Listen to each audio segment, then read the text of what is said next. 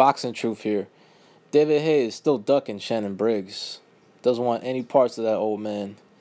Despite promising him a shot at him if he was to fight on his undercard, which Shannon Briggs did for practically nothing. Didn't even get paid, according to Shannon Briggs. And now David Haye is trying to say that it's Shannon Briggs that doesn't want the fight because he wants the fight to be on pay per view. And right now, no network is willing to put that fight on pay per view, according to David Haye. And that he wants millions of dollars for Shannon Briggs to take the fight against him. But I don't believe a fucking word David Haye is saying. I think Shannon Briggs is willing to fight for whatever's offered to him. He's been lowball before, and according to him, has was willing to accept these lowball offers, like the one he got against Deontay Wilder when his people tried to lowball him, and he accepted. But Deontay Wilder's team didn't want that work. They don't want to risk being embarrassed by the, a middle-aged heavyweight that has still has a lot of experience. So I really don't see how Shannon Briggs would turn down the fight, according to David Haye, since David Haye is still fighting on free free television, a channel Dave.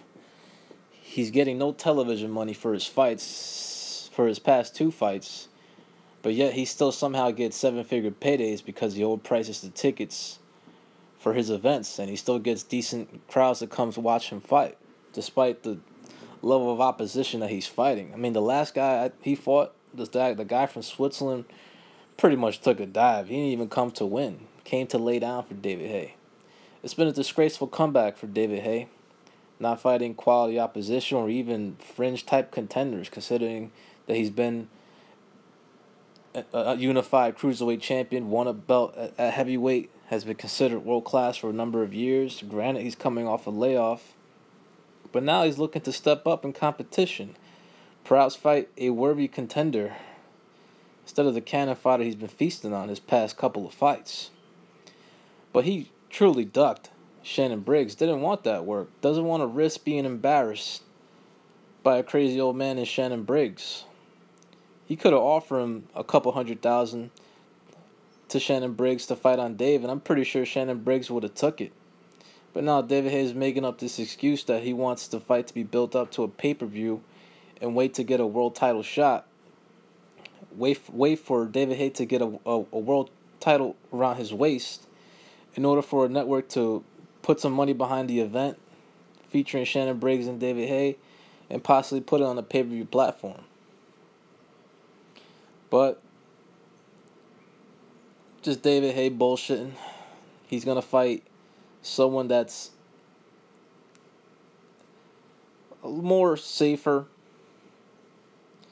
but that's the thing. I have no idea who he's fighting in December 10th. And is he really actually going to compete? If the fight against Klitschko and Joshua goes down on that same date, is he actually going to try to compete with that event? Doesn't do good business for both parties, for both entities. So I'm pretty sure David Haye will eventually move off that date if the Klitschko Joshua gets fight gets materialized. But David Haye is saying that the fans are going to be very happy for his next fight. It's not going to be Shannon Briggs, that's for sure. But he's saying the the his next opponent will be a name fighter in the heavyweight division. There's been rumors of Lucas Browne, perhaps Alexander Ustinov. I really feel David David Hayes, since he's ranked pretty high by the WBA, he's gonna fight either one of those guys in order to position himself as next in line for a world title shot with the WBA organization. Now, David Haye is currently training. He looks pretty strong. Looks he still has the speed, but he needs to get in there with some more worthy contenders to see where he truly is at. Lucas Browne is a step in the right direction. Alexander Ustinov is also a step in the right direction, but most fans wanted to see him fight Shannon Briggs, despite the circus Briggs is in boxing, despite his antics the fight would have been very exciting. It would have did some business. Of course, David Haye would have lowballed him and kept all the revenue to himself. Since he somehow still makes pretty decent paydays, despite no television money being thrown his way.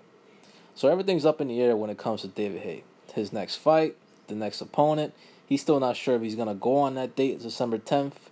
really depends on what happens with the Klitschko Joshua situation, as well as the broadcasting rights. Is he gonna fight on Dave? What network is gonna pick up this fight? I don't know how his relationship is with with, with Sky. That's Eddie Hearn's network, anyways. He will have to deal with Eddie Hearn. Box Nation. I mean, David Haye's comeback has been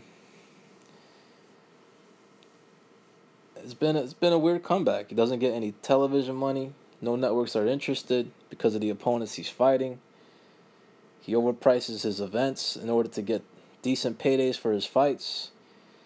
And right now, he needs to prove to the boxing public that he's truly serious about his comeback and fight a decent, worthy contender, at least a rated guy among the sanctioning bodies within the organi- within those organizations for him to get into, into a position to fight for one of the belts, either most likely the WBA, since he's highly rated by them. But disappointing that he ducked Shannon Briggs, went went back on his word. I'm pretty sure Shannon would have took the fight for two hundred thousand, which is what David Haye would have would have offered him, since that fight would have been on free television over in the UK. But David Haye never truly wanted the fight It was a bunch of bullshit, a bunch of talk. I don't know if he's truly scared of that old of that old man, of a forty five year old guy who who's he can still fight, but you know he still has to prove a little. He he still has to prove something as well because of the opposition he's fighting. But Shannon Briggs is still a dangerous fight, especially the first two rounds. He comes at you with everything the first two rounds and he's definitely he's definitely still dangerous. Has a lot of experience. Has fought. He's fought in three different generations of heavyweights, and it's just a risky fight to take, especially for a guy who wants to get a cash out payday in his career. As David Haye's goal is to eventually fight either Klitschko again or Joshua. As perhaps money is really the main motivation for David Haye's comeback after a number of years of inactivity. But this will be David Haye's third fight of the year, his most active year in quite some time. He hasn't fought three times in a year in, in, in a very long time. And we'll see who his next opponent is. Everything's up in the air, but very disappointing that he totally avoided and ducked Shannon Briggs. This is Boxing Truth. I'm out.